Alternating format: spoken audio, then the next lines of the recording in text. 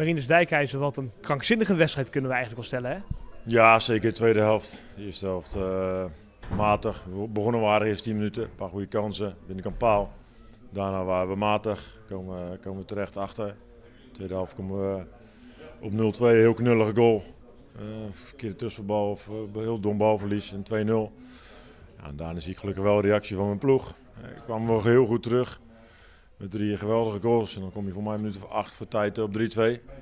Dan denk je van nou, nu, uh, nu gaan we onze organisatie weer herpakken en uh, we gaan proberen de, de boel af te counteren. Maar het stond zomaar weer 3-3 en het had zomaar ook 3-4 kunnen zijn. Dus ging alle kanten op de tweede helft. Want hoe verklaar je ook het fluctuerende spel van dit Excelsior? Want het was ook in de eerste helft zeker niet altijd goed. Laat, slecht mag ik misschien ook wel zeggen. Maar in de tweede helft heb je ook bij Vlagen echt heel veel kansen bij elkaar gevoetbald. Ja, zeg ik, tweede helft was natuurlijk aanvallend wel goed. Uh, er zat wat meer gif in. Het aan- en terugsluiten was beter.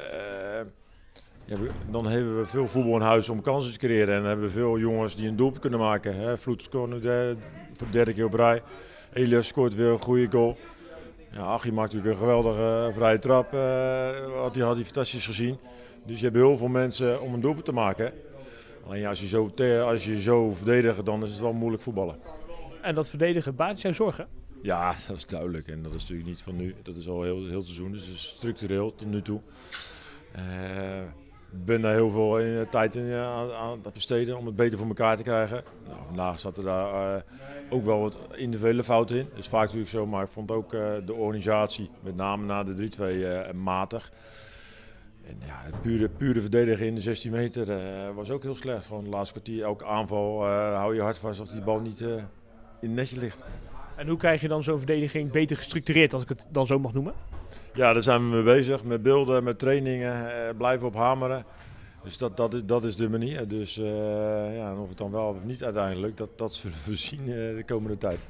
Derde wedstrijd uh, voor jou weer na je terugkeer bij Excelsior. Vijf punten in totaal gepakt in die drie wedstrijden. wat ben je vooral wijzer geworden op basis van deze drie wedstrijden en een paar volledige trainingsweken? Nou, er zit veel potentie in de ploeg. net over veel aanvallende kwaliteiten, veel, veel, veel diepgang. Veel mensen die een doelpunt kunnen maken. Uh, goede dynamiek in de groep, dus ook wel echt wel met elkaar bezig.